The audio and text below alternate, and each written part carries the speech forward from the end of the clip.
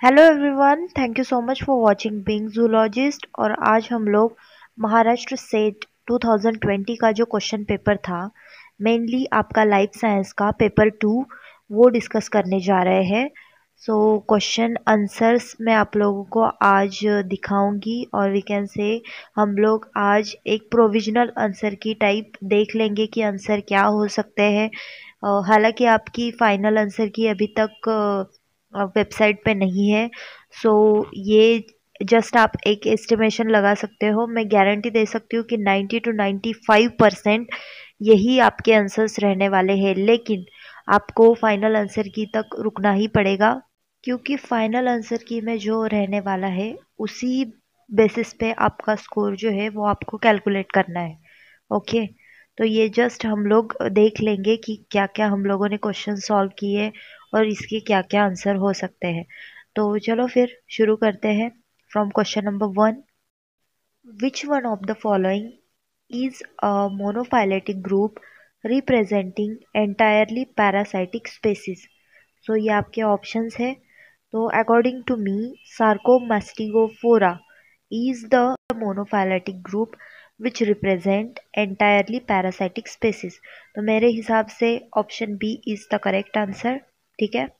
Next question one of the following symptoms of a metabolic disorder is that patient have lighter hair and skin colour than their siblings what is the name of the disorder तो यहाँ पे हम लोगों को disorder का नाम बताना है।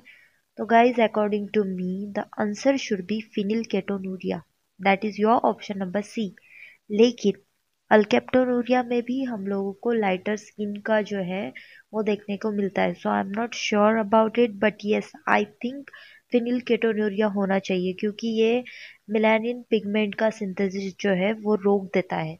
So according to me answer should be option number C चलिए आगे बढ़ते हैं।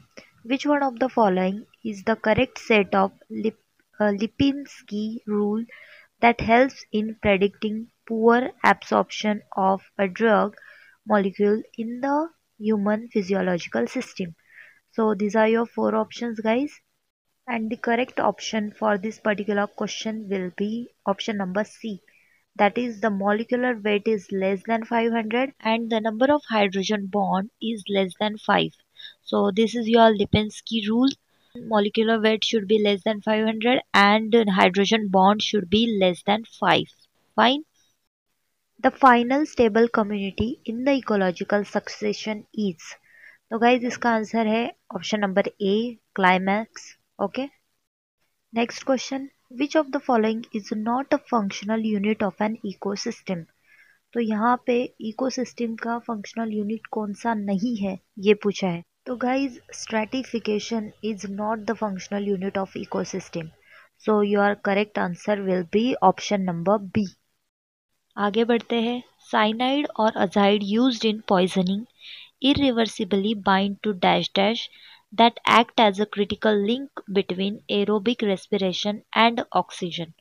तो यहाँ पे आपको ऑप्शन में दिया है साइटोक्रोम सी ऑक्सीडेज तो गाइज़ यहाँ पे एक हिंट भी था।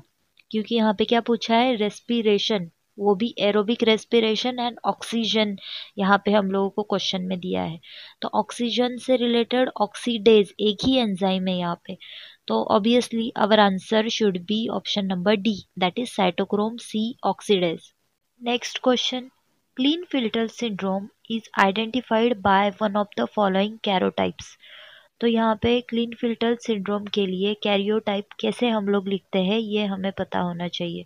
तो गाइज़ यहाँ पे ऑप्शन नंबर बी में दिया हुआ है forty seven X X Y because here Klinefelter syndrome is nothing but the trisomy okay तो यहाँ पे ट्राइसोमी हम लोगों को बस ऑप्शन बी में दिख रही है सो अब our answer should be option number B next question what is the normal role of restriction enzyme in bacterial cells तो भाई इसका आंसर है option number A that is to degrade the bacterial chromosome in small pieces during the replication.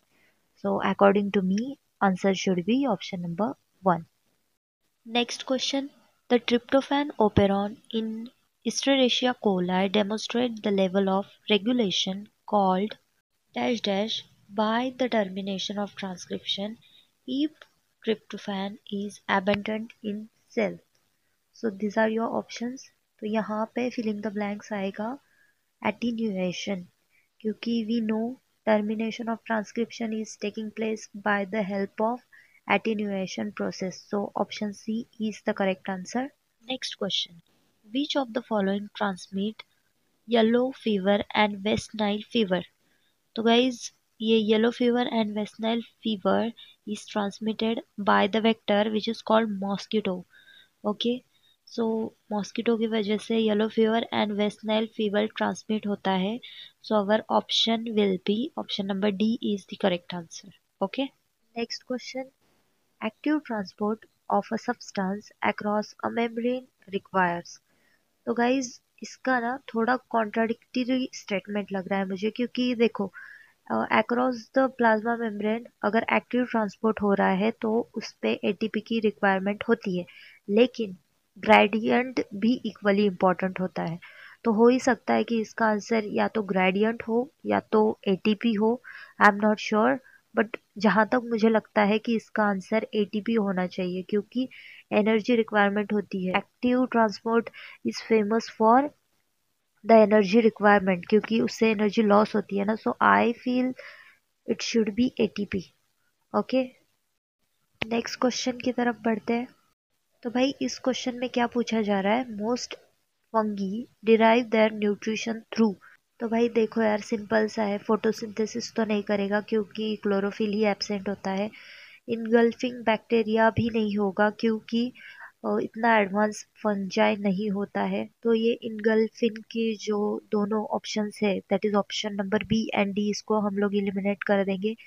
So our answer should be digesting organic substrate तो yes they secrete some kind of enzymes जिससे कि organic substrate जो है वो digest हो जाए।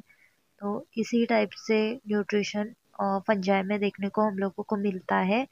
So our answer will be option number C cytokinins are तो guys यहाँ पे ना साइटोसिन डेरिवेटिव हम लोग को बहुत बार लगता है क्योंकि साइटोकाइन साइटोसिन सेम सेम लगते हैं। तो हम लोग गलती से यही मिस्टेक कर देते हैं कि साइटोसिन डेरिवेटिव लिख देते हैं साइटोकाइनिन को।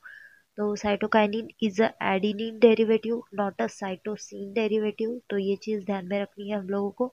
So our answer will be option number A and not the option number Next, coiled cochlea is found in. So guys, this is the unique feature of mammals. So our option will be option number A, mammals. Okay, coiled cochlea is found in mammals only and uh, it is the part of internal ear. Okay. यहाँ पे आप लोगों को confuse करने के लिए option B में mammals as well as birds दे दिया है।